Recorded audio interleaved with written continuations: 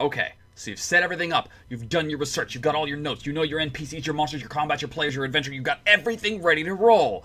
Now, the moment of truth. You're gonna run your very first game.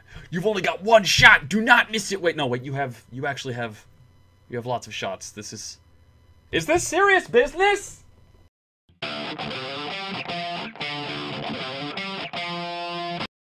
Okay, don't panic. Take a deep breath. It's gonna be fine. We're gonna walk you through how to actually run the very first session, not just prep for it. If you do want advice on how to prep for your first session, we've got a video, and I think I can make that happen right there. Kapow! I'll put an annotation apologizing for that if it's not there. I might be an idiot. Step one of five start hard, start fast. Decide if everyone knows each other. Sometimes you'll do that, sometimes your players will do that. All you have to do is understand what the relationships between the player characters are and why they are currently in the same place as the adventure begins. Don't waste time lounging around picking your nose. Start where the action starts. Get right to it. Throw yourself in as hard as you can. The party is together. Everybody's at the table. Just go. A good way to tell if you're starting hard enough is, can I chop this off at the beginning and just like say, well, you guys got the job and now you're on the caravan? Do it. Start where the story really begins, where the conflict happens, where the players are making important decisions. Prologues aren't as important as you think. Just get everybody on the same goddamn page and start playing. Get right to it. What's the conflict? What are they doing? What problem are they solving? Get right in there. Be like, ah. Point two. Remember, objectives are to be beaten. The player characters are the fucking heroes. They are the goddamn badasses that are gonna save the day. Remember that. You as the DM shouldn't worry in your first session about nail-bitingly close combats or any of that. Just sit down and make certain that you've told a story where the player characters saved the goddamn day.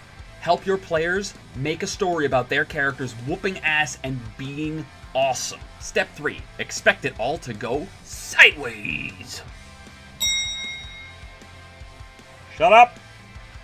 Don't be afraid to ask for a minute to think. If the players just went off into left field and you have no idea what you're doing, that's not something you should be afraid of. That's awesome. That's where you get to discover what's happening along with the players. Work with them to discover what happens. That's the whole point of being a DM.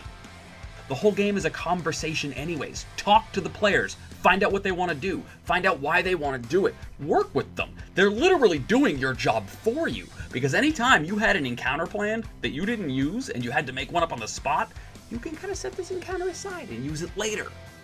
Discover the story together, discover the action together, play the game with each other. I guarantee you'll have a good time. Don't be afraid of this. Point four, try and know the rules.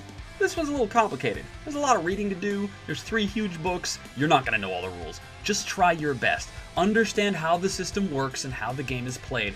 But if you don't know in the heat of the moment exactly how many feet somebody is supposed to be able to jump, don't fret it, just ask for an athletics check. You won't get all of the rules right all the time. Instead, take my advice. Don't waste time looking them up at the table. My general rule is that I make a ruling, it stands in the moment.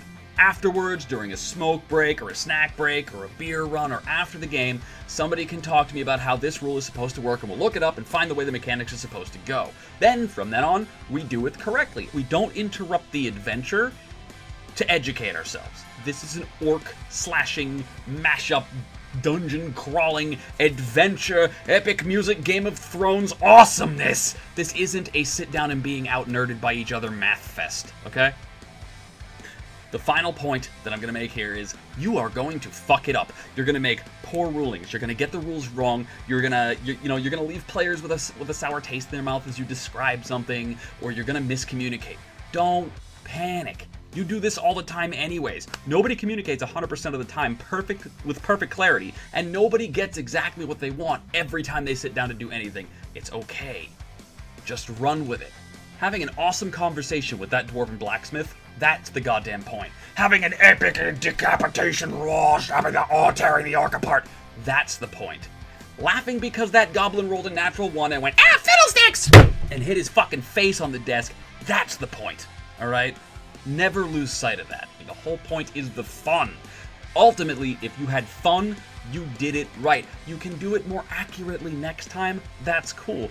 I'm Evil Squeegee, and this has been my guide to your first session, how to actually run the damn thing. Again, if you're looking for information on how to prep, There's going to be a link somewhere around here, maybe in the description. I'm not certain. If you have any questions or comments, please leave them below. I love to hear from you guys. I'm Evil Squeegee, and I'll catch you guys later. Adios. You follow the dancing light of the game wisps through the fairy marsh, with a trusty blade at your hip and a sturdy shield at your back. You have traveled many months without so much as a soul of your own kind to speak of. Long ago, your songbird, lovingly named Twitter, had passed away. You were a prisoner of the Fae for many centuries, locked in a land where time obeyed different rules and had a funny way of twisting your perceptions. Only now do you cross the great barrier between worlds, and as you slip into a more constant, less tumultuous time stream, you can feel your very soul twitch. And then comes that oh so familiar discord of physicality crashing through your very being as you become material once more. A free human, you look over the landscape that seemingly materializes before you sprawling hills and forests, kingdoms and villages as far as the eye can see. You don't know where you are or when you are, but you intend to find out. So much to do. Freedom must be bliss. Will you like? Will you subscribe? You pause to ponder this. What will be your first act as a free being? What will you do?